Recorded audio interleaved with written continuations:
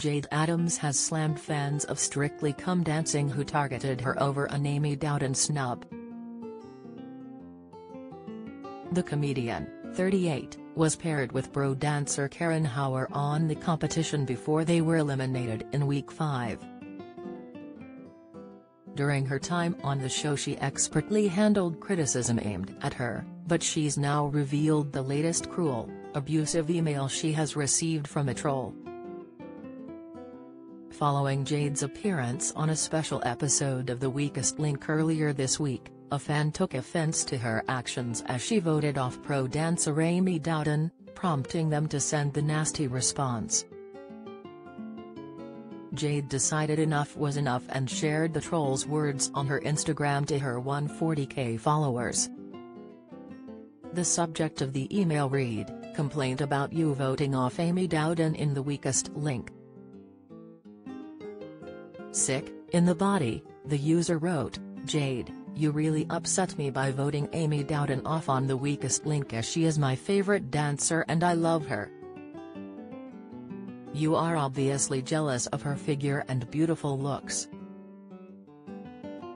It was really mean of you, she is a maths genius and maths is the hardest thing in the world.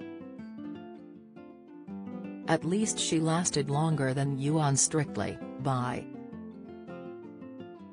It was clear Jayde was unimpressed by the letter and she captioned her upload, Goodbye to the core Strictly fandom. I'm going to miss your weird emails. With all the love and compassion in the world, please don't come to my tour next year. Earlier on BBC Sounds Woman's Hour with Krupa Padhy, Jayde admitted she had chosen to tackle insults thrown at her on the show as she believes they will never stop. She told the host, I knew it was going to happen to me because every time I'm on TV someone comments on my weight, I just knew it was going to happen. I could do one of two things, I could ignore it, or I could tackle it. I found it funny, I could show people who follow me some resilience.